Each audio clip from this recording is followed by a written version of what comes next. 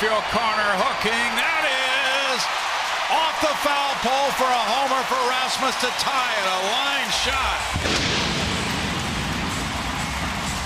Number 20 for Colby Rasmus, and it's 1-1.